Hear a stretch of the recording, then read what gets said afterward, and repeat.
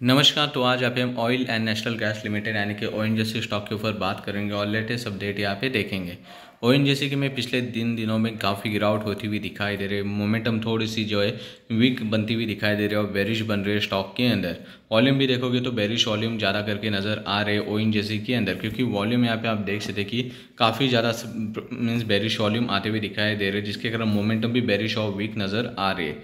News की तरफ़ आप लोग नज़र डालोगे तो रिसेंटली यहाँ पे आप देख सकते कोई इम्पैक्टफुल न्यूज़ नहीं है रिगार्डिंग ओ एन स्टॉक क्योंकि जो टारगेट जो है ओ एन के नीचे के आते हुए दिखाई दे रहे टू सिक्सटी फाइव के करीबन के।